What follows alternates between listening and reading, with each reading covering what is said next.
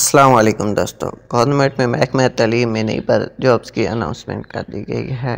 تو اس ویڈیو میں ہم آپ کو بتائیں گے کون سی ویکنسیز آئی ہوئی ہیں ٹوٹل کتنی ویکنسیز ہیں، کس طرح آپ لوگوں نے اس میں اپلائی کرنا ہے، کیا ایلی میں رکھی گیا ہے اور کیا کوالیفیکیشن ہوگی۔ تو اگر آپ اس چینل پہ نیو ہیں تو please subscribe my YouTube channel تو آپ لوگوں نے سمپلی گوگل پہ آنا ہے گوگل پہ Pakistan job bank X Y Z کو سرچ کرنا ہے۔ تو ان کی آفیشیل ویب سائٹ آ جائے گی، Pakistan job bank and education تو اس لنک پہ آپ لوگوں نے کلک کر کے اوپن کر لینا ہے۔ جب آپ لوگ اس لنک پہ کلک کر کے اوپن کر لیں گے تو یہ دیکھیں لیٹسٹ جاب ان پاکستان دو ہزار چوبیس۔ تو دوسرے نمبر پہ لکھا ہوا ہے، محکمہ تعلیم جاب دو ہزار چوبیس فیڈرل ایجوکیشن جاب دو ہزار چوبیس۔ تو اس لنک پہ آپ لوگوں نے پھر سے کلک کر کے اوپن کر لینا ہے۔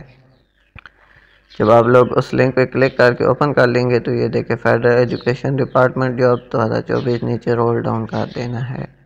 جاب لوکیشن پاکستان ہے لاسٹ ڈیٹ اپلائی کرنے کے بیس مائی دو ہزار چوبیس ہے۔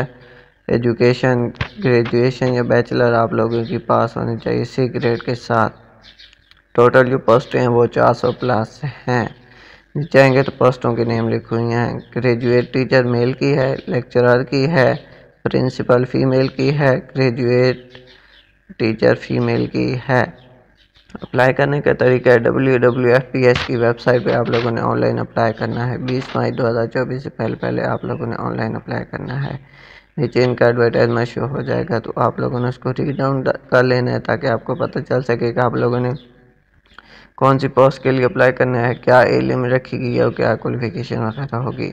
تو اگر آپ اس چینل پہ نیو ہیں تو please subscribe my YouTube channel. اس میں میل اور فیمیل دونوں اس میں اپلائی کر سکتے ہیں۔ آل اوور پاکستان سے آپ لوگ اس میں اپلائی کر سکتے ہیں۔ شکریہ دوستو۔